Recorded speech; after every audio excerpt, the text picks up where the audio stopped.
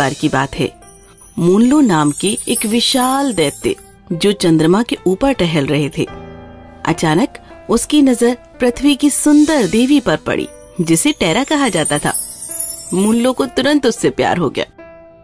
वो चंद्रमा से उतरकर पृथ्वी पर आया और वो टेरा के सामने झुक गया, जैसे एक पेड़ फूल पकड़े हुए हो, और उसने उसे प्रस्ताव दिया।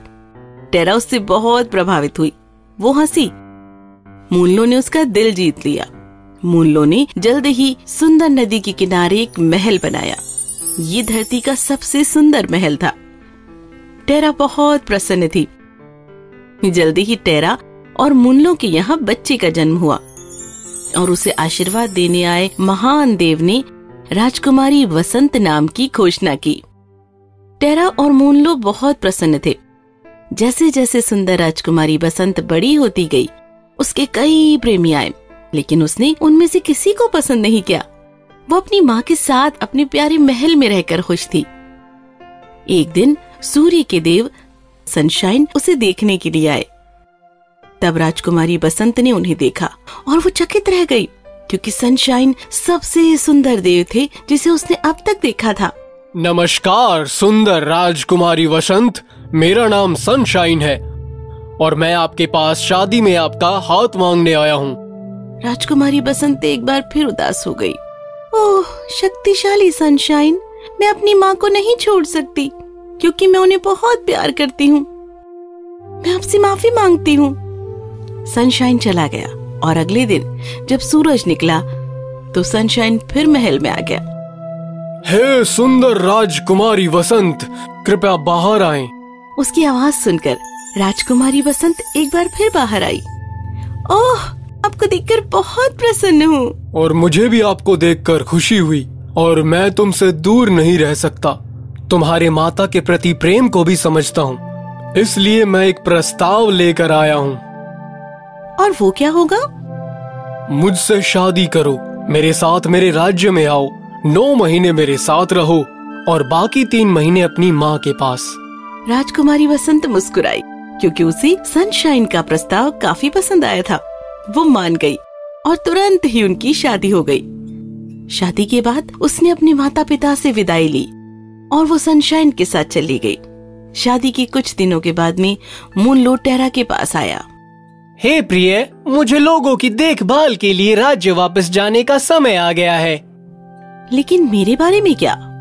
मैंने हमेशा तुम्हें मेरे साथ आने के लिए कहा है लेकिन तुम कभी नहीं आती। तुम अपना महल नहीं छोड़ना चाहती हो। हाँ मैं पृथ्वी को नहीं छोड़ना चाहती। मैं तुम्हारा इंतज़ार करूँगी। उन्होंने एक दूसरे को गले लगाया। मूनलो चले गए। टेरा बिल्कुल अकेली थी। जैसे ही वो एक घनी जंगल में पहुँची, उसने वहाँ से बाहर निकलने का फैसला किया, लेकिन वहाँ उसे ठंड दिखाई दी। स्वागत है टेरा अपनी क्षेत्र से बाहर आने में थोड़ा समय ले लिया। तुम कौन हो? बहन, क्या तुम मुझे नहीं पहचानी? मैं ठंड हूँ। चलो बहुत समय हो गया। मैंने भी तुमसे कुछ अधिक ही सोच लिया। मैं तो यहाँ आई हूँ तुम्हारी रक्षा के लिए। चलो जम जाओ। टेरा तुरंत बर्फ़ से ढक गई और वो जम गई। अब ये धरती मेरी है। और शीघ्र ही पृथ्वी बर्फ़ से ढक गई। इस बात की जानकारी मूनलो को उसके मंत्री ने दी। उन्होंने तुरंत अपने मंत्री से सनशाइन के साथ एक गुप्त बैठक की व्यवस्था के लिए कहा। सर आपको गुप्त रूप से सनशाइन से मिलना चाहिए ताकि फ्रोस्ट को पता ना चले। सही कहा। बुद्धिमान मंत्री ने एक विचार सुझाया।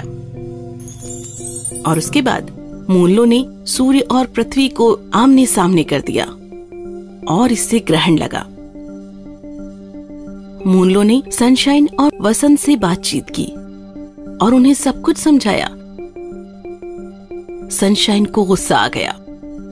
मैं गर्मी से पाला पिघला दूँगा। मूलो ने हाँ कहा और फिर वो रास्ते से हट गया। सनशाइन ने ठंड पर अपना प्रकोप फैलाया और जल्दी ही सारी बर्फ़ पिघलने लगी। ये क्या हो रहा है? सूर्य की किरणें बहुत शक्तिशाली थी। वो तुरंत समझ गई कि ये सनशाइन है। ठीक है रुको। मैं तब तक नहीं रुकने वाला जब तक आप टेरा को मुक्त नहीं कर देते। मैं करूँगी लेकिन मेरी एक शर्त है। उसे आज़ाद करो या मैं तुम्हें पिघला दूँगा कोई शर्त नहीं है। अच्छा तो आगे बढ़ो। मुझे पिघलाने से पूरी पृथ्वी पर बाढ़ आ जाएगी और इसे ठीक होने में बहुत समय लगेगा। सनशाइन स्तब्ध रह गया। वो सही है। उससे पूछें कि वो क्या चाहती है। सनशाइन गुस्से से भड़क उठा। मैं अभी चली जाती हूँ। लेकिन जब हर साल राजकुमारी वसंत चंद्रमा पर चली जाएगी, तब पृथ्वी पर मेरा राज्य होगा। पूरे नौ माह के लिए। ये ये सही नहीं है। नौ महीने का ठंडा तापमान धरती को नुकसान पहुंचाएगा। मेरे पास मेरे पास उसे देने के लिए क्या बचा होगा? ठीक है तो फिर सात महीने। आपको क्या लगता है हमारा बेटा मानसून के कारनामों के लिए कहाँ जाने वाला है? हमने उसे हर साल तीन महीने के लिए नानी के घर भेजने का फैसला किया है ताकि वो पृथ्वी के बारे में कुछ सीख सके और बारिश कर सके। ओहो ये क्या? फिर एक शिशु? ये बच्चा सनशाइन और प्रिंसेस स्प्रिंग का बेटा है। ठीक है। चार महीने और यही। दो महीने। रुको तुम दोनों। देखो मेरी माँ एक मूर्ति की तरह बन गई है। बस तीन महीने। बस तीन महीने। अब हर साल सिर्फ़ तीन महीने तुम्हें मिलेंगे। या फिर छोड़ दो। अच्छा ठीक है। मैं तुम सबको अगले साल देखूँगी। इतना कहकर वो गायब हो गई। राजकुमारी बसंत एक बार फिर पृथ्वी पर पहुँच गई और पृथ्वी सुंदर लगने लगी। टेरा से बर्फ़ पिघल गई और वो एक बार फिर मुक्त हो गई। माँ, मैंने एक बेटी को जन्म दिया है। वो बारिश का महारथी बनने जा रहा है। हमने उसका नाम मॉनसून रखा है और वो हर साल तीन महीने के लिए आपसे मिलने आएगा। ओह, कितना बढ़िया। मैं बहुत प्रसन्न हूँ मेरी बच्ची। और इसीलिए हर साल राजकुमारी बसंत तीन महीने के लिए टेरा की यात्रा के लिए आती है और पृथ्वी खिल जाती है। तब सनशाइन बसंत को लेने के लिए आते हैं और उनके साथ धरती पर ग्रीष्म ऋतु आती है। और फिर मानसून घूमने आता है और तीन महीने बारिश बरसाता रहता है और फिर जब वो चला जाता है तो ठंड साल के आखिरी तीन महीनों में उसके साथ आती है और सर्दी होती है।